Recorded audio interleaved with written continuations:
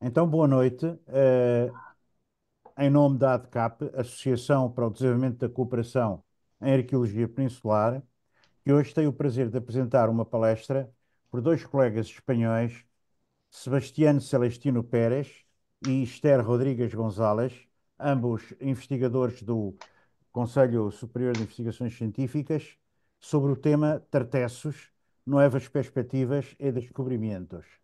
Os autores nos enviaram um breve currículo vitae cada um.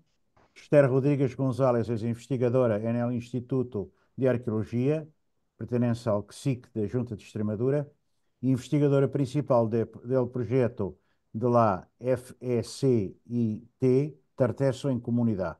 Asimismo, é membro do projeto de investigação Construindo Tartesso 2.0, em cujo marco codirige as escavações arqueológicas en el yacimiento de Casas del Toruñuelo, Guarena, Guareña, Badajoz, reconocido con el primer Premio Nacional de Arqueología y Paleontología de la Fundación Palarc. Sebastián Celestino Pérez es profesor de investigación en el Instituto de Arqueología, CSIC, Junta de Extremadura. En la actualidad es investigador principal del proyecto Construyendo Tarteso 2.0, reconocido con el Premio Nacional de Arqueología y Paleontología de la Fundación Palarc. Director de las excavaciones en Canto Roano, Zalameia de la Serena, Badajoz, 1986 a 2001. En la actualidad codirige las excavaciones en el yacimiento de Casas del eh, Toriñuelo, eh, Guareña, Badajoz. O tema que nos vão apresentar é Tartessos, Novas Perspectivas e Descobrimentos. Por sinal, há dias encontrei um vídeo muito interessante sobre esse assunto e lo divulguei entre muita gente aqui em Portugal. Uh, o vídeo que hicieron sobre isto, que é muito bueno. Uh, bueno, los, uh, que nos enviaram. Los recientes hallazgos arqueológicos realizados en el de casas de Toruñuelo, Guareña, Badajoz, Espanha, han permitido reabrir um debate em torno à extensão geográfica e cronológica de Tarteso, uma cultura cujo desarrollo estava restringido ao Val del Guadalquivir, onde tradicionalmente se, localizado su, se localizado núcleo. Sin embargo, e graças ao estado de conservação de los yacimientos localizados en el Guadiana Medio, hoje podemos apresentar uma nova visão em torno da etapa final desta cultura, la qual vivió uno de los, sus mayores momentos de esplendor entre los siglos 7 a 5 antes de Cristo. Y ahora voy a cortar mi eh, micrófono y paso la palabra a nuestros invitados, a quien agradezco mucho eh, por eh, la colaboración que nos prestan. Muy bien, pues muchísimas gracias. Em, creo que es un placer tanto para Esther como a mí, como para mí, ¿no? Estar, eh, estar aquí comunicando un poco y divulgando los trabajos que, llevamos en los últimos años, desde 2015 aproximadamente, en eh, Casas del Turuñuelo, que es el yacimiento que ha dado un poco eh, un vuelco a la investigación que se tenía sobre Tartesos ¿no? hasta este momento. Em, hay que tener en cuenta que eh, cuando se hacían las excavaciones de la necrópolis de Medellín, que es quizás la más conocida, ¿no? Y de Canchorroano, del santuario de Canchorroano que excavaba el profesor Maluquer ¿no? a principios, a finales de los años 70, se pensaba que eh, había unos yacimientos que eran muy similares a los que se estaban dando en el Valle de Guadalquivir, en, el área nuclear de, Tartesos, pero que sin embargo el hecho de que estuvieran en el Guadiana, bueno, pues eh, no facilitaba un poco la, eh, comprensión del problema. De hecho, hasta años después, el propio profesor Almagro Gorbea, que excavó en la necrópolis de Medellín, no fue el que dijo que la necrópolis era una necrópolis tartésica, ¿no? Es decir, no solamente eran ya los materiales que aparecían que eran similares, sino que los propios rituales que se estaban dando en la necrópolis eran iguales a los del Valle de Guadalquivir y por lo tanto él ya eh, avanzó que podíamos estar ante la colonización de tartesos de esta zona del Guadiana. Eh, con Canchorroano se confirmó y con la aparición de otros yacimientos que han ido apareciendo en Extremadura, bueno, pues parece que esto está cada vez más claro. ¿no? Eh, hay que tener en cuenta que el tarteso nuclear, el que se da en, las provincias del sur, ¿no? de, Huelva, Sevilla, Cádiz, fundamentalmente, están bajo las grandes ciudades y por lo tanto ha sido muy difícil recuperar sus restos, ¿no? Se hacen pues cuando se hacen grandes eh, obras de infraestructura o eh, se levantan edificios y demás, ¿no? Siempre aparecen restos aislados y sin embargo en Extremadura, en el Valle del Guadiana, pues tenemos la ventaja de que están en el, en el medio rural y que se conservan magníficamente. De hecho, una de las cosas más eh, llamativas ¿no? y más especiales del Turuñuelo, como pasó en Canchorroano, es su magnífico estado de conservación. ¿no? Y esto nos ha, permitido, nos ha permitido bueno, pues extraer unos datos que no los podemos hacer de, de otra manera. ¿no? Y otro problema que, que, había era la cronología. Siempre se pensaba que Tarteso, bueno, ahí está un poco dividida la investigación, ¿no? En Portugal pasa exactamente igual, ¿no? Eh, si es anterior a la colonización fenicia o si es la consecuencia precisamente de la colonización fenicia, ¿no? Nosotros creemos que efectivamente es este segundo, en este segundo caso, ¿no? que es a partir, solamente podemos hablar de Tartesos a partir de que eh, los fenicios llegan a la península ibérica, se instalan y se crea una nueva cultura que tiene muchísimo sabor oriental, pero que también tiene su sabor atlántico, ¿no? que es la vertiente en la que está todo el, el Guadiana, y todo el sur de Portugal y el sur de Andalucía. Por lo tanto, esos son un poco los paradigmas que han cambiado.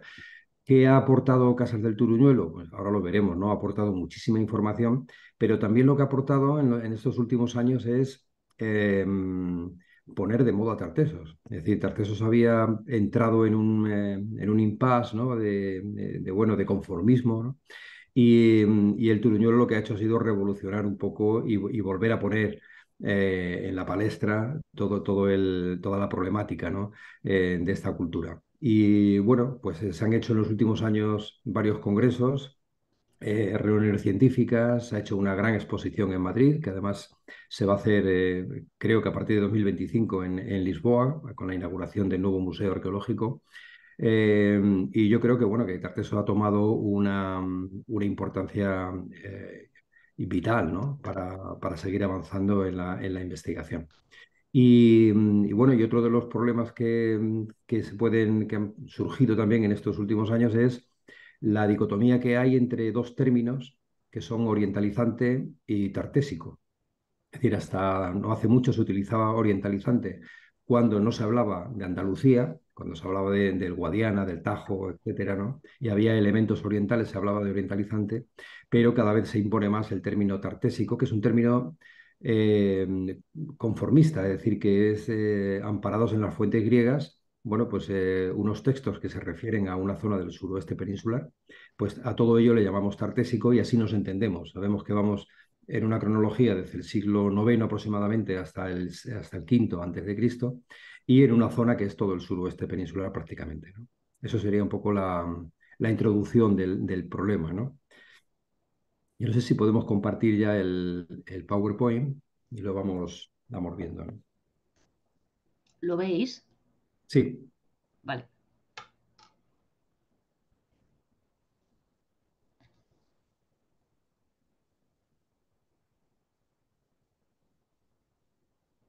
¿Ves el mapa, Sebastián? Eh, no, veo, el, veo la presentación en general, pequeña, pero no veo la primera, Ah, pues la, o sea, está en Ahora, ahora, ahora, ahora, ahora veo el mapa. Vale. Bueno, pues este es el de lo, que hablábamos, ¿no? En amarillo se puede ver un poco lo que siempre se ha considerado como el núcleo de Tartesor y lo que hoy eh, se, van, eh, se van añadiendo nuevos yacimientos que los propios investigadores y arqueólogos que trabajan en ellos van identificando también como eh, la periferia cultural de, de Tartesos, ¿no? algunos más desarrollados, otros menos desarrollados, pero en realidad eh, tienen, sobre todo, no, por los objetos, como decía en un principio, no porque haya objetos parecidos, sino sobre todo porque hay ritos, rituales, que el, de la muerte quizás sea el, más eh, evidente, pero también eh, la religión, la forma de hacer la arquitectura, es decir, cuestiones culturales que son de raíz y que son las que definen un poco esa, esa cultura. ¿no? Eh, evidentemente Tartesor no es igual en todas partes, no es igual el Tartesor de Huelva que el Tartesor de la desembocadura eh, del Guadiana o que el Tartesor del Alto Guadalquivir, etc. Cada uno tiene sus matices y cada uno tiene su propia personalidad, pero bueno, hay eh, hitos culturales que son los que lo hacen uniforme. En la siguiente podemos ver además que los elementos que aparecen, hablamos ya de objetos, ¿no? los elementos que aparecen tanto en el Guadalquivir como en el Guadiana, bueno, son muy similares, ¿no? El tipo de las urnas, eh, que se llaman Cruz del Negro, ¿no? Que aparecen tanto en Medellín como en Carmona, como en otros lugares de, las necrópolis eh, tartésicas que conocemos, pues es idéntico, ¿no? Con ese ritual que, como digo, se repite. Y luego, bueno, elementos que aparecen en ambos sitios, ¿no? Y cada vez en el Guadiana, cada vez más, cada vez vamos conociendo más elementos que tienen eh, sus raíces en el mundo, en el mundo oriental. Y em, ya restringiéndonos al Guadiana, que es quizá lo más, eh, lo más revolucionario en cuanto a la investigación que se ha hecho en los últimos años, bueno, pues ahí tienen un mapa donde se puede apreciar todos los eh, yacimientos que se han eh, localizado, ¿no? Tanto en, en, altura, que solamente hay uno que sepamos, ¿no? Bien identificado, que es el Tamborrío, en Villanueva de la Serena, pero están las necrópolis, que hay varias, la más importante sin duda la del Pozo de, Medellín, y eh, bueno, esos triángulos que son los yacimientos, lo que nosotros llamamos eh, eh, yacimientos tartésicos ocultos bajo túmulos, es decir, son túmulos bajo los que se ocultan estos grandes edificios que se conservan en un estado, bueno, irregular, algunos muy bien, otros prácticamente han sido arrasados ¿no? por las tareas agrícolas. Pero bueno, eh, hay 14 eh, de ellos, lo cual quiere decir que bueno, es un poblamiento bastante denso, teniendo en cuenta lo que se ha podido prospectar en toda esta zona en los últimos, en los últimos años. Y eso es lo que da paso, bueno, los edificios que conocemos en, los últimos años. Quizá el más conocido, sin duda, es el de Cantorroano, por la, cantidad de años que se estuvo trabajando en él y la eh, enorme cantidad de publicaciones que hay en torno a este santuario eh, que está al sur del, Guadiana. Eh, también La Mata, que es otro yacimiento que funciona más como una zona de almacén, ¿no? de gran distribuidor de, eh, cereales fundamentalmente, donde aparecieron muchísimas ánforas, ¿no? es lo más característico del, lugar. Y otro que es el Cerro Borreguero, que es menos conocido, pero muy interesante porque es el único yacimiento hasta ahora de época tartésica donde se asocia una cabaña con eh, el desarrollo de la arquitectura ya ortogonal introducida por la, por la colonización. Es decir, que una cabaña ovalada y encima ya está la construcción eh, cuadrangular y sería un poco el, edificio más antiguo que conocemos desde el siglo VII en el, en el Valle del Guadiana. Sería, ya digo, el preámbulo. Y bueno, y Esther va a pasar a, desarrollar un poco lo que ha sido la excavación de, de Casas del Turismo. Bueno, pues eh, muy buenas noches. Eh, vamos a hacer un pequeño recorrido a través del yacimiento de Casas del Turuñuelo. Este año además se cumplen justamente 10 años desde que empezamos eh, los trabajos en el yacimiento. El primer sondeo lo realizamos en el año 2014 y bueno, es verdad que la primera campaña de excavación no se, no se inició hasta el año 2015.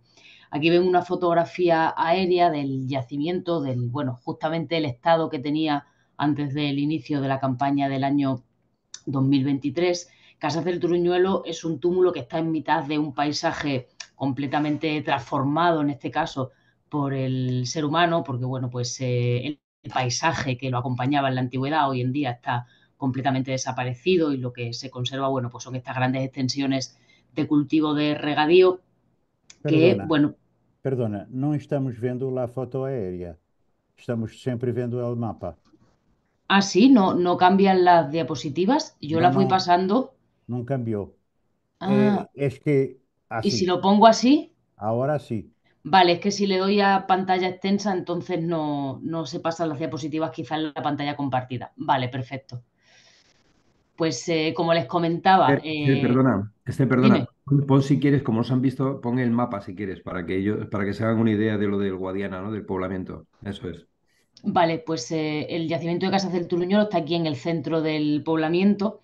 Luego comentaba Sebastián eh, la presencia de estos grandes eh, edificios bajo túmulo que, bueno, pues se insertan dentro del proyecto que nosotros investigamos, Canchorroano La Mata, Cerro Borreguero y Casas del Turuñuelo, que es justamente el que vamos a, por el que vamos a realizar ahora un recorrido.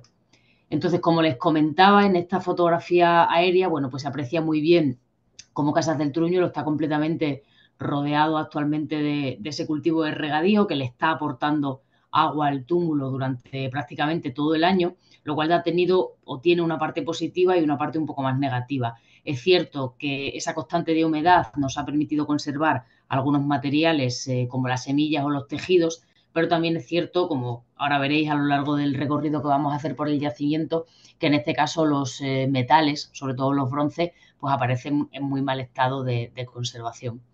De Casas del Truñuelo conocemos hasta la fecha eh, dos, sus dos plantas, o las dos plantas que hemos conseguido documentar hasta ahora.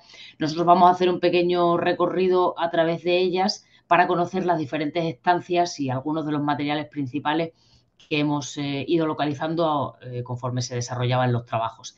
En la parte superior vamos a recorrer la estancia 100, el vestíbulo y las habitaciones que se localizan al norte y al sur. Y posteriormente la planta inferior, ¿no? Con esa veremos esa escalera monumental que se encarga de comunicar ambos eh, espacios y en este caso nos detendremos en el patio y la habitación de las gradas que eh, esta última habitación es la que excavamos el pasado año y donde, bueno, pues recuperamos el lote de marfiles y los, eh, las representaciones figuradas de estos cinco rostros que, bueno, pues veremos con más detalle. La habitación 100, que es la estancia hasta la fecha de mayores dimensiones del edificio de, de, Casas del Turuñuelo, a excepción del patio, la excavamos en el año 2015, tiene casi 70 metros cuadrados y está orientada al este. Tiene una única salida, una única puerta, un único acceso y uno de los elementos más eh, destacados de este espacio, bueno, pues es la presencia de este emblema central con forma de, piel de bóvido extendida, que es una simbología habitual dentro del mundo tartésico, dentro del mundo religioso, que en Casas del Truñuelo tiene un matiz porque eh, no es exactamente un altar, como ocurre con otros ejemplos pues el carambolo, Corea del Río, que son también bastante conocidos, sino que funciona a modo de emblema, está más bien dibujado en el suelo. Y en este caso el foco lo tiene en uno de sus eh, laterales. De hecho, entre los elementos eh, de fauna que encontramos posiblemente relacionados con el último sacrificio que se llevó a cabo en este espacio, pues fue la mandíbula de una ternera. En la parte oeste de la estancia se conservaba un pavimento, en este caso de losas, de, adobe, sobre el cual, bueno, pues recuperamos una gran cantidad de platos, porque como veremos al final de la presentación, en Casas del Turuñuelo se lleva a cabo un complejo ritual de amortización o de clausura del, edificio, ¿no? Y una parte de ese ritual que se lleva a cabo, bueno, pues lo compone la celebración de un gran banquete en el que participaría buena parte de la, de la comunidad. Entre el material que recuperamos en este espacio, bueno, pues eh, una caja de marfil, bueno, en este caso de hueso y perfil, las tres primeras placas que ven en la diapositiva son de hueso y la última placa, esta que tiene la procesión de barco, es del marfil de hipopótamos. Este, esta placa, al igual que la habitación, ya están publicadas, pueden consultar eh, pues a través de la página web del proyecto, por ejemplo, todas las publicaciones que hemos desarrollado hasta ahora. La teoría que nosotros eh, presentamos en ese trabajo fue que posiblemente en origen la caja fue enteramente de marfil, pero bueno, pues las tres placas superiores debieron de fragmentarse en algún momento, se rehicieron, se, refabricaron y se mantuvo la misma iconografía, pero en vez de utilizar marfil, en este caso se hizo sobre hueso.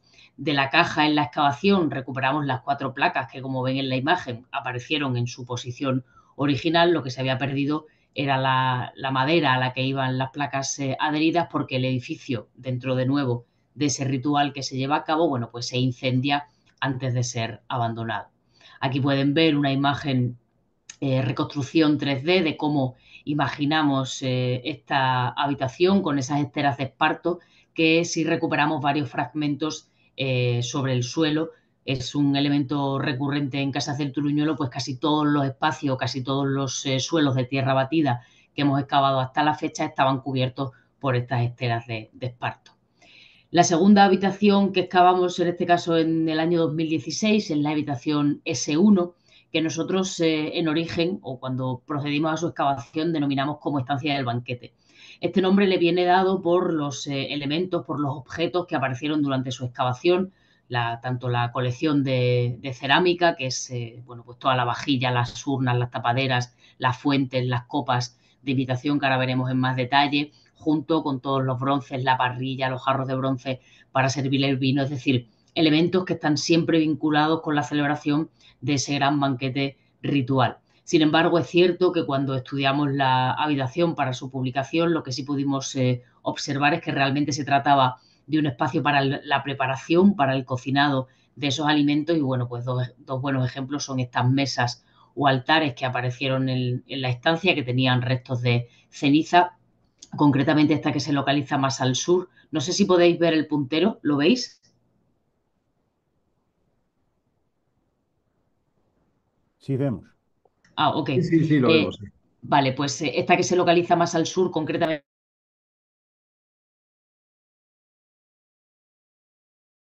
Ahora perdemos o sonido. Não, não, não estamos ouvindo.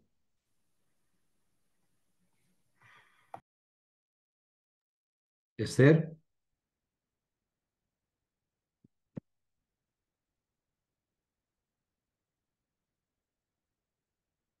¿Tienes el micrófono abierto? Vale, No. Ahora, ahora, Ah, me- oh. se me había silenciado el...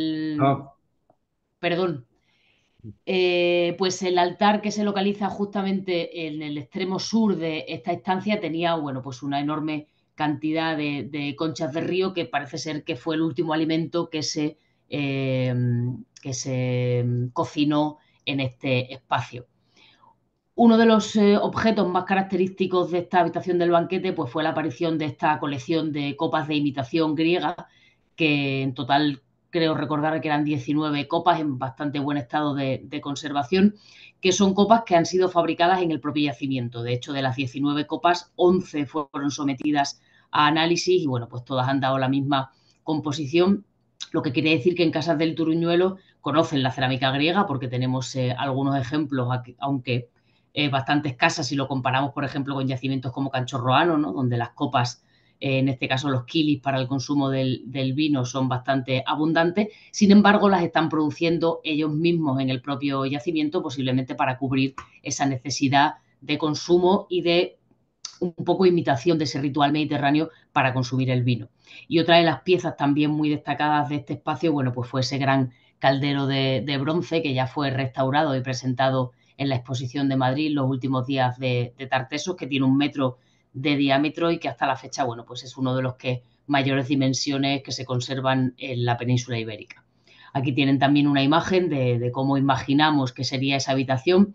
Es significativo la presencia, eh, en este caso, bueno, están las vigas colocadas en, su lugar, pero cuando excavamos esta habitación del banquete sí pudimos recuperar parte de esa techumbre, lo que nos ha ayudado luego en la reconstrucción de la estancia. Normalmente, como les comentaba al principio, esa constante de humedad que, se, eh, que ocurre en el yacimiento de Casas del Turuñuelo, pues también ha beneficiado a la aparición, bueno, pues de estos niveles de carbones que nos permiten conocer cómo serían las techumbres y sobre todo qué especies, en este caso el pino, se están utilizando para su construcción. Otra de las habitaciones, la última que vamos a ver de esta planta superior, es la habitación norte, que no está terminada de excavar porque es la habitación por la que actualmente accedemos y salimos del, del yacimiento, pero que eh, los trabajos desarrollados en, ellos, en ella fueron muy significativos por la aparición, bueno, pues de este individuo que nosotros bautizamos como Desiderio, porque apareció el día de San Desiderio, y que es un hombre de entre 25 y 30 años, un metro 67 de estatura, y que después de varios eh, intentos y trabajos creemos que ya por fin después de cuatro laboratorios distintos, ahora mismo una parte de él está en Bruselas y creemos que podremos por fin extraer ADN, secuenciar ADN antiguo para intentar, bueno, pues eh, al menos definir de dónde viene, ¿no? Si, si es una persona que ha nacido y vivido eh, en el interior peninsular o si dentro de su eh, genética, bueno, pues no sé, tiene una raíz quizá, por ejemplo, por ponernos así un poco pues mediterránea, ¿no? En este caso. Eh, junto al individuo aparecieron varios, eh, bueno, tenía un, gran repertorio de material, varias urnas eh, pintadas a bandas y quizá lo más destacado fueron la presencia de estos tres braseros de bronce, de los cuales solo hemos conseguido restaurar el de la parte, el de la imagen más pequeña superior, porque como les comentaba al principio, los metales aparecen en muy mal estado de conservación en el yacimiento. Para que se hagan una idea, en la actualidad me parece que en total hemos conseguido documentar 21 braseros de bronce y solo uno hasta la fecha hemos conseguido que, pueda restaurarse. Es llamativa la presencia de este individuo en esta habitación, en este caso, bueno, en buena parte del relleno de esta habitación, porque nosotros tenemos muy, muy cerquita la necrópolis de Medellín, que es de una cronología, eh, de la misma cronología que el yacimiento de Casas del Turuñuelo, y bueno, pues la, en este caso el ritual predominante es la cremación, y bueno, pues llama la atención que este individuo haya sido depositado dentro del, edificio y enterrado con la propia construcción, ¿no? Nosotros la teoría que barajamos, porque no tiene signos de violencia, es que, bueno, pues eh, en algún momento sufriera algún tipo de colapso o muriera durante el proceso de enterramiento del edificio, que tuvo que ser muy copioso, y, bueno, pues depositaran sus restos dentro de, este edificio. El siguiente espacio que vamos a ver es el patio, que para su excavación pues tuvimos que emplear dos campañas de excavación, casi un año entre la excavación del espacio y luego la extracción de los restos de, los caballos. Es un espacio que tiene 125 metros cuadrados, eh, además es llamativo porque se trata de un, patio interior, no es como en, otros casos, como por ejemplo en Cancho Roano, ¿no? donde se observa muy, muy bien, o sea, el, patio se, se, localiza en la parte delantera del edificio, ya prácticamente al exterior, sin embargo, bueno, pues en Casas del Turuñuelo parece un patio central y además cerrado por sus cuatro lados. Hasta la fecha solo tenemos una puerta, justamente aquí, localizada al este. El espacio entre el piso inferior y superior, bueno, pues se comunica por esa escalinata monumental, que uno de los eh, elementos más llamativos de la misma, bueno, pues son esos seis escalones eh, inferiores fabricados a partir de mortero de cal, el mortero de cal hasta la fecha más eh, antiguo que se ha documentado en la, en la península ibérica. A nosotros nos llama mucho la atención su uso en casas del Truñuelo, porque a pesar de que se conocen otros yacimientos contemporáneos como Canchorroano o La Mata, no es un material que se esté utilizando de forma generalizada, parece que ni siquiera dentro del, Valle del Guadiana, ¿no? Con lo cual, bueno, pues es eh, característico de este, de este yacimiento y de la propia monumentalidad que tiene Casas del Turuñuelo. Quizá uno de los eh, elementos más destacados del patio, bueno, pues fue el hallazgo de este masivo sacrificio de animales, que sin duda ha sido quizá uno de los mayores retos a los que nos hemos enfrentado hasta el momento en el yacimiento de Casas del Turuñuelo por su magnitud y bueno, pues eh, tuvimos que conformar un equipo de 12 zooarqueólogos que nos ayudaran en su identificación, por supuesto en su excavación y en su estudio, ¿no?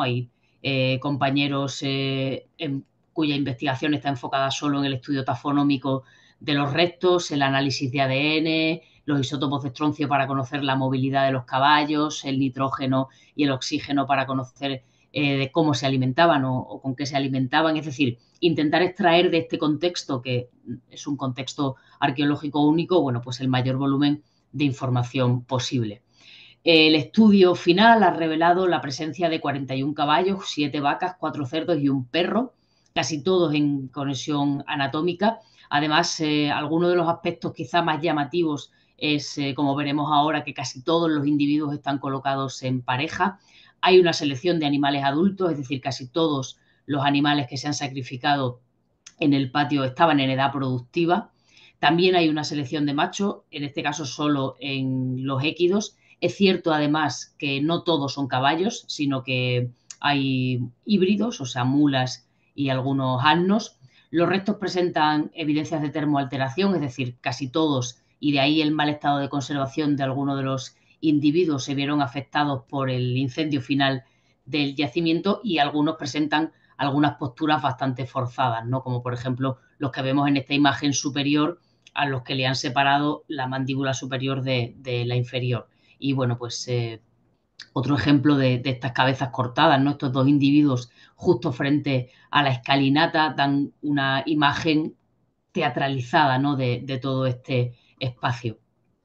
Para la exposición de Tartesos también trabajamos en la reconstrucción 3D de esta escena que debió de ser bastante impactante y, bueno, eh, en cierto modo terrorífica, ¿no? Por, por, así decirlo, ¿no? Porque todos estos individuos sacrificados y distribuidos eh, en el patio, hay todavía algunos aspectos de este eh, sacrificio de animales que se nos escapan, como por ejemplo cómo fueron realmente sacrificados todos los eh, individuos, porque es verdad que algunos sí tienen marcas de haber sido eviscerados, ¿no? de haber vaciado la, parte gastrointestinal y algunos sí parecen tener marcas de haber recibido un golpe en la cabeza, pero digamos que no existe un patrón eh, cerrado en cómo se han ido sacrificando estos animales y posteriormente depositando sobre el, patio. Si es cierto que, vuelvo a la imagen anterior, porque sí es cierto que sí conocemos que el sacrificio no se hizo en un solo momento, sino que existen diversas eh, fases y, bueno, por simplificarlo un poco, la primera fase serían estos eh, cuerpos ya esqueletizados que se ven representados en la esquina inferior derecha, que habrían sido animales que fueron depositados sobre, se sacrificaron, se depositaron sobre el suelo y el patio se limpió para volver a sacrificar los animales que ya se ven en esta imagen que todavía conservan todo, todo el cuerpo. Entonces, al menos hay esas dos frases del sacrificio, más una tercera que sería eh, un número de vacas que están por encima de este sacrificio de animales, que son las vacas que se consumieron eh, en el ritual, digamos, en ese banquete al que ya habíamos aludido con la presencia de los platos y, los elementos de bronce de la estancia del banquete. El patio es cierto que no fue muy rico a nivel material, a nivel de objetos eh, materiales, pero sí es verdad que sí son muy destacados los pocos elementos o objetos que aparecieron.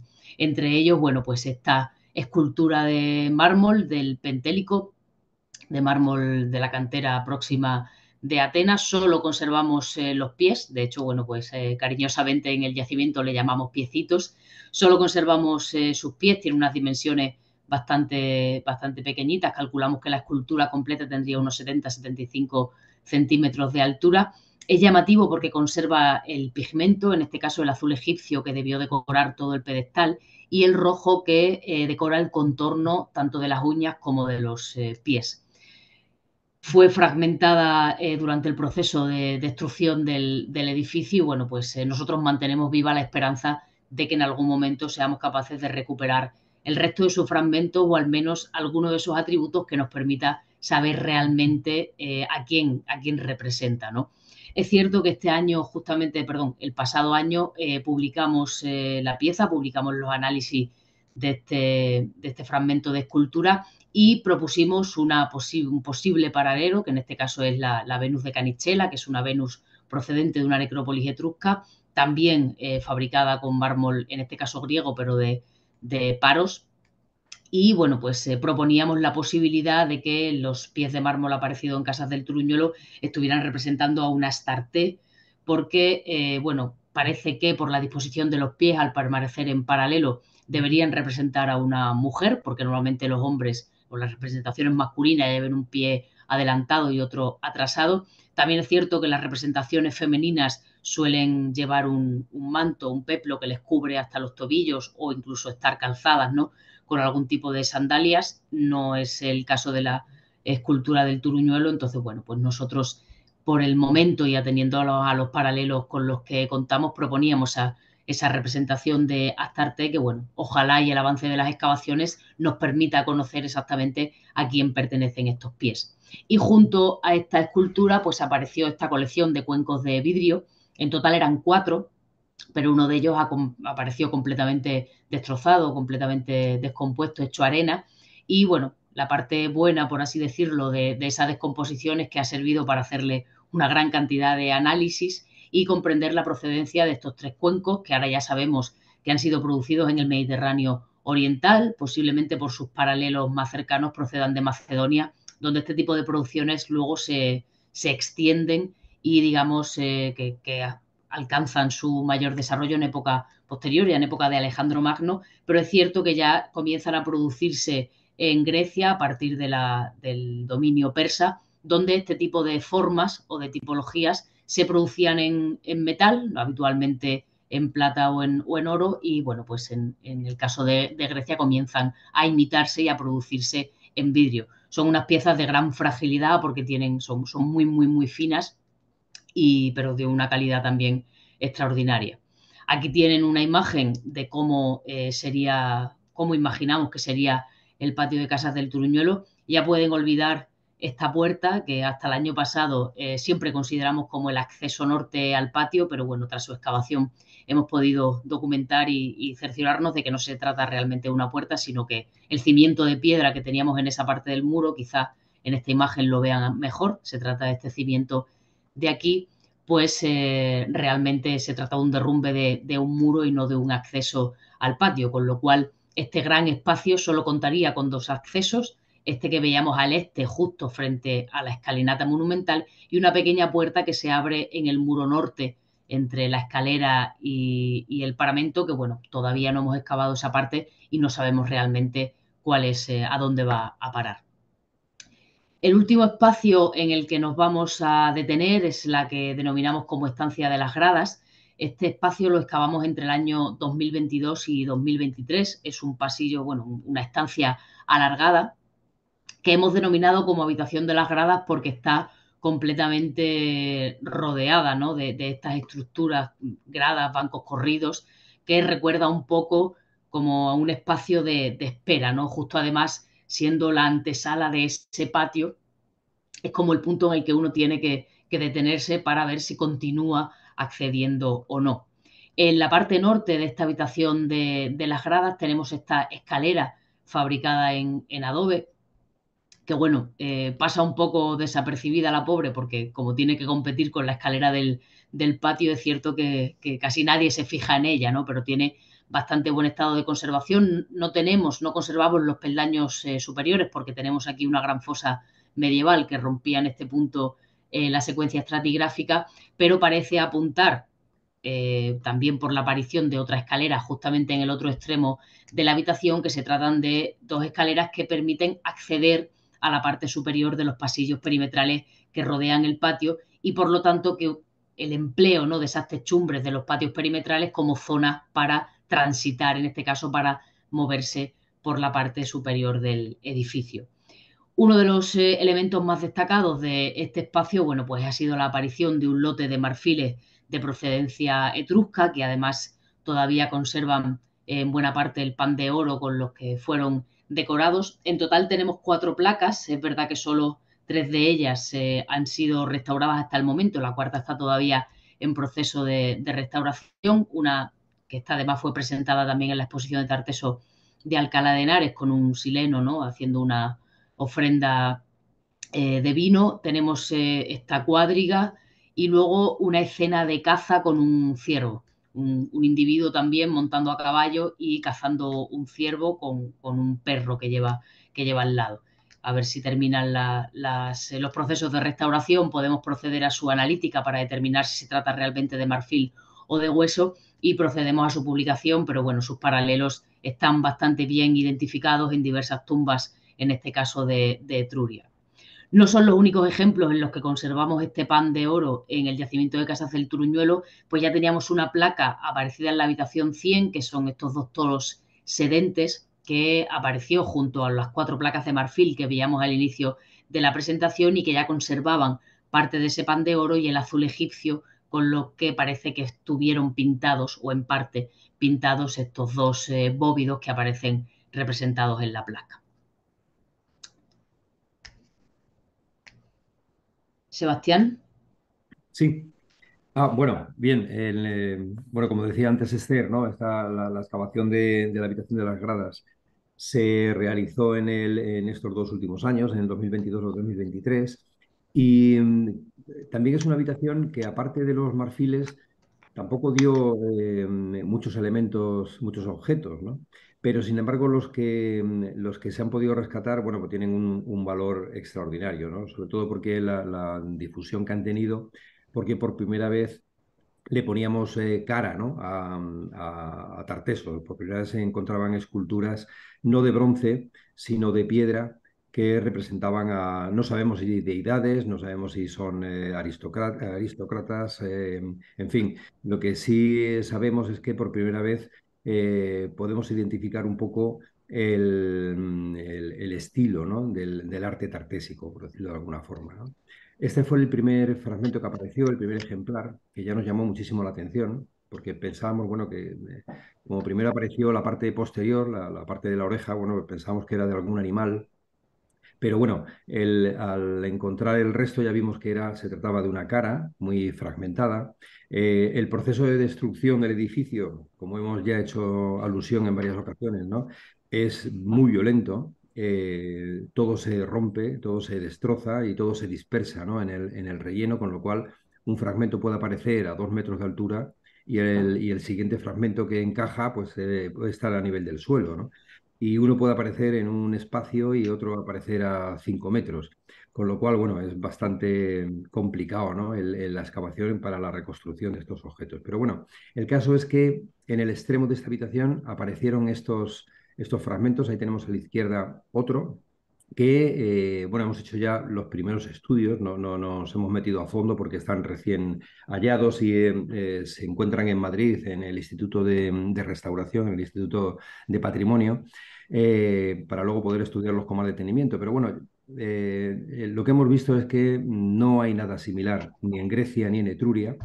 y parece que nos tenemos que ir al mundo ibérico, que es donde más similitudes podemos encontrar. ¿no? Ahí vemos uno de los guerreros de Porcuna, del, Cerrillo Blanco en Jaén, donde apareció en una necrópolis, bueno, una serie de esculturas que parece que son las que más se asimilan o se asemejan a, estos, a estas caras que han aparecido en el, en el Turuñuelo, o por lo menos este guerrero que tiene esa trenza que siempre se identifica con, la, con el tránsito ¿no? entre la juventud y la madurez de los guerreros ibéricos. El siguiente fragmento fue este, con una, que aparece con una diadema, que lo más significativo es que es muy parecida, si no idéntica, a la, al collar, con lo que se llama el collar del, tesoro de la Liseda, lo cual nos llevaba a pensar que eh, quien hiciera estas esculturas eh, mm, tenía una especie de orden de que se representaran con eh, la joyería que, tartésica de ese momento. ¿no? no solamente ya, ahora veremos otros elementos que también son eh, genuinamente tartésicos, ¿no? pero bueno, este es, es uno de ellos. El siguiente fragmento, bueno, aquí vemos un poco eh, esa comparación ¿no? con el Cerro de Alcalá, donde aparece uno de estos elementos de, collares y de, y de, adornos que se asemejan mucho a este fragmento del, del Turuñuelo. El siguiente fragmento em, son las caras, las famosas caras, ¿no? Aparecieron dos, a una le falta eh, todavía una cuarta parte de, la cara, están realizadas en piedra, es una, es una arcilla em, bastante que, se puede manejar bien, se puede esculpir eh, fácilmente y que aparecen esas caras con un estilo bastante depurado, eh, son de un, de un estilo muy sofisticado para la época o para lo que conocíamos en este momento, que ya digo que en Tartesos no conocíamos prácticamente nada, ¿no? Y llama la atención fundamentalmente el tocado que llevan, ¿no? El, peinado, que es como flamígero, eh, o bien de raíces, de raíces vegetales, ¿no? Que lo único eh, paralelo que hemos encontrado es este, esta coré, eh, que bueno, que aparece, son como capullos, ¿no? decorando un poco el, peinado, y es, ya digo, lo, más eh, similar que hemos, que hemos visto. ¿no? Pero lo que es el estilo en sí no se parece en nada al mundo griego, sino que parece una cosa mucho más indígena, más realizada aquí. ¿no? Y lo que decía antes de las, de las joyas, ¿no? una de las cosas que más nos ha llamado la atención es que los pendientes que llevan, arracadas que, que llamamos, o con forma de amorcillados, eh, son idénticos, por ejemplo, a los que han aparecido en otras necrópolis eh, tartésicas. Fundamentalmente, bueno, la más cercana nuestra es eh, la que aparecieron en el santuario de Canchorroano, que además tienen la misma dimensión, son, son idénticas, ¿no? Incluso algunas se han encontrado con esa, con esa cadenilla que pasa por, por encima de la oreja. Aquí vemos una en Bobadilla, en Jaén, con esas caderillas que sirven un poco para eh, sujetar el gran peso, porque serían seguramente macizas, el gran peso que, conllevan este tipo de pendientes. Bien, y esta es una de las preguntas que nos hacemos, ¿no? Todavía ya digo que no nos ha dado tiempo a estudiarlas pormenorizadamente y en detalle, pero eh, no sabemos si se refieren a diosas, si son héroes, reyes o reinas, porque eh, tampoco está tan claro que sean personajes femeninos, ¿no? no el hecho de que lleven eh, el, atrezo de pendientes y demás no quiere decir que las caras sean femeninas, aunque, bueno, en un primer vistazo parece que, que son así, ¿no?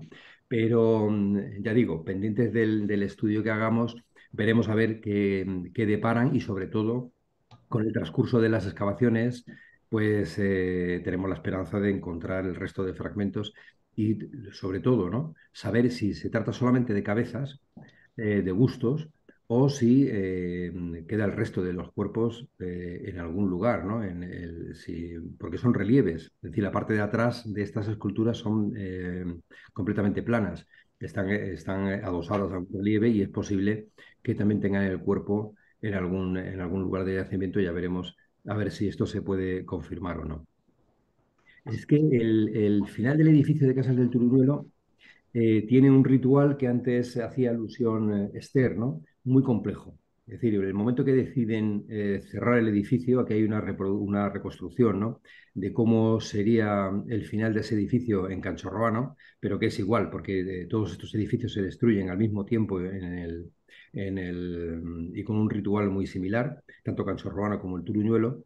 En primer lugar, eh, se decide abandonar el edificio. Eso es un problema que todavía tendremos que, ir viendo con el tiempo, si se debe a causas eh, climáticas, que parece que son lo que apunta, en una época de muchísima humedad, con muchísimas lluvias y que quizás las tierras fueran improductivas y decidieron irse del lugar. Pero bueno, ya digo que esto está todavía en estudio. Pero lo que sí deciden es em, cerrar el edificio y lo hacen de una forma eh, siempre igual. Primero, un, un banquete un gran banquete para despedirse un poco del lugar, un sacrificio de animales, quizás para ofrecer eh, a los dioses lo mejor que tienen, porque mm, los animales están todos en, edad de madura y en edad de trabajo. Después del sacrificio de animales deciden eh, incendiar todo el edificio y una vez que lo incendian, con su destrucción, lo rellenan de tierra completamente y por último lo sellan. Lo sellan con una capa de arcilla de unos 10 centímetros más o menos eh, que lo dejan completamente sellado y de hecho, bueno, pues han pervivido hasta nosotros 2.500 años después. Esto es el ritual que se hace. Y una de las curiosidades, por eso ponemos esta, esta diapositiva, es que la mejor cerámica griega, ya no de, imitación, sino de importación, eh, aparece justamente en ese sellado lo cual nos lleva a deducir que una vez que cierran el edificio y lo sellan, hacen un último ritual, que es una libación, donde emplean la mejor vajilla que tienen, que es la, importación, las de importación griega, y allí rompen sus copas y se van. Por eso aparecen todas, ya digo, en esa, en esa capa de, de sellado. Esto es un poco, en conclusión, todo ello, y ya solamente ya para terminar, decir que, bueno, Esther y yo somos los directores de la excavación, pero hay un proyecto detrás, un proyecto del Plan Nacional de Investigación que se llama Construyendo Tartesos, donde trabajan muchísimos equipos y mm, entre ellos, por ejemplo, el, UNIARC de, la Universidad de, Lisboa, donde eh, participan tres investigadores y, mm, bueno, del resto de Europa. ¿no? O sea que es un proyecto muy grande, muy ambicioso que necesita muchísima gente y que, bueno, ahí seguimos con él. Precisamente ahora estamos, estamos de excavación, ¿no? Estamos en plena campaña de excavación. Empezamos en marzo, a principios de marzo, terminaremos en mayo y seguiremos trabajando en, en esa parte que hemos visto de la habitación de las gradas, ampliando para ver si damos con la puerta eh, con la puerta principal, con la puerta de entrada al edificio, que suponemos que como todos los edificios estos inspirados en el mundo mediterráneo, la tiene hacia la puesta del sol, es decir, hacia el este, que es donde estamos trabajando. Y yo creo que con esto, pues nada, muchas gracias por, por la atención que nos habéis prestado y, espero que pronto pueda ser visitable el, yacimiento y que podamos eh, y que podáis visitarlo eh, vosotros también. Nada más, muchas gracias. Muchísimas gracias. Uh, pergunto, portanto, uh, teremos que esperar um tempo antes que se pueda visitar una cosa tan interesante, ¿no? Sí, porque mm, estamos en eh, el, sitio no tiene, no tiene ni siquiera una entrada. Es decir, nosotros hacemos la entrada eh, al edificio, bueno, cuando excavamos vamos excavando por fuera, evidentemente, pero eh, para entrar al edificio hay que hacerlo por una habitación donde estaba el muerto. Eh, porque no tenemos una, entrada todavía principal donde se pueda acceder. Entonces hay que entrar por arriba, porque claro, el edificio conserva las dos plantas, se entra por la planta de arriba y luego hay que bajar por la, por la escalera y la escalera pues eh, no, no está habilitada como para que pase mucha gente por allí, ¿no? Para que no se estropee. Entonces, sí, hay un proyecto de, primero de cubrir el edificio, cubrirlo bien, para que, porque ahora mismo lo que está es tapado con chapas que lo protegen bien, pero bueno, no es, es una cosa completamente momentánea, ¿no? Eh, hay un proyecto de, cubierta y luego, bueno, por dentro de esa cubierta sí que hay unas pasarelas para que la gente pueda visitar el lugar. Y, en la zona eh, circundante, eh, alrededor, ¿tiene idea de que van a aparecer más estructuras de esta, de esta importancia? No, nos queda lo que es del túmulo, está excavado un tercio, aproximadamente un tercio, o sea, quedarían dos tercios todavía por, por excavar. Pero fuera del túmulo, eh, lo que hay es, en la foto que hemos puesto al principio, se ve muy bien, ¿no? Es una zona de regadío, de, intenso regadío, ¿no? Entonces, em, claro, la agricultura es muy intensiva, eh, se lleva trabajando, eso es un plan que hubo en los años 50 del pasado siglo, ¿no? Que es el plan Badajoz, que es, eh, entonces, claro, las tierras ahí están completamente removidas, remozadas, y se ha hecho una planicie enorme donde hay arroz, tomates, eh, maíz, etcétera, ¿no? Entonces va a ser muy difícil que, podamos detectar algún resto más, que seguramente lo sabría. Por tanto, quedó una especie de isla donde sería una cosa de que, de qué dimensión posible o probable. ¿Tiene alguna idea? Esto sería que una aldea, un, una, qué tipo de, o qué dimensión probable podría tener esto antes de estas destrucciones debidas a la agricultura moderna. Bueno, el edificio ahora mismo tiene casi una hectárea. O sea, lo que ocupa el, el, túmulo es una hectárea, ¿no? Pero eh, sí hemos visto que todos los perfiles del túmulo, todos están eh, comidos. O sea, eh, las máquinas han ido eh, poco a poco arañando, entonces seguramente es posible que hasta el doble, que, tendría un, sería un edificio de prácticamente de dos hectáreas, lo cual es eh, monumental, claro, es muy grande. Pero yo comprendo poco de esta época, por tanto pido disculpa de mi ignorancia. pero esto le llaman túmulo, pero túmulo en qué sentido? ¿En, en sentido de un montículo? Sí. Ah, es un, eh, sí, sí, un montículo artificial. Sí, sí, claro. Comprendo. No sé si alguna persona más desea poner eh, cuestiones a, a nuestros invitados.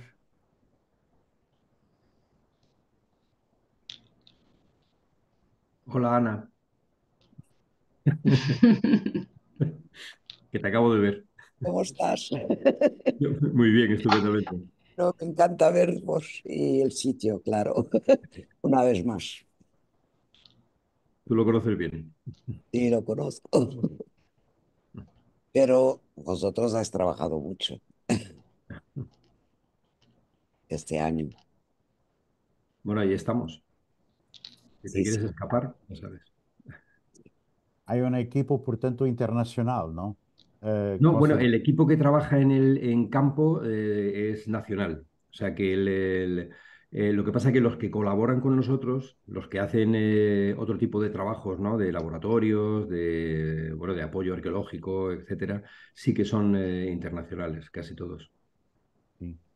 la arqueología en España, particularmente en Andalucía o en esta zona de Extremadura, está teniendo apoyos digamos, mismo de tipo uh, de dinheiro para poder trabalhar, porque é sempre o problema dos arqueólogos, não? É, a arqueologia é uma coisa muito cara e por vezes não não tem o apoio que, que merece, não? Mas neste caso, vosotros tenéis condições de trabalho convenientes. Eh, bueno, tenemos que decir que sí, que tenemos. Eh, eh, quizás también el yacimiento ayuda a ello, ¿no? Tiene tal dimensión y ha tenido tal eh, divulgación y, demás que bueno que las autoridades han visto que también es rentable, ¿no? Culturalmente. no es que sea rentable económicamente porque la cultura nunca, pero hay que verla también como una inversión, no, no como un gasto. Entonces, eh, sí, no, no nos podemos quejar, por lo menos para investigación. Luchamos más para cuestiones de infraestructura, ¿no? Para que hagan la cubierta, para que hagan los caminos, para... Esto ya es más, más complicado. Pero en investigación no, no, no tenemos problemas. Hay que tener en cuenta que el proyecto está dentro de un gran proyecto que se llama Construyendo Tarteso, que es un proyecto del Plan Nacional de Investigación, ¿no? Ah, sí. Entonces, luego hay otro proyecto que es regional, y se complementan muy bien, ¿no? Entonces, eh, ya digo, para, para lo que es investigación no hemos tenido ningún problema.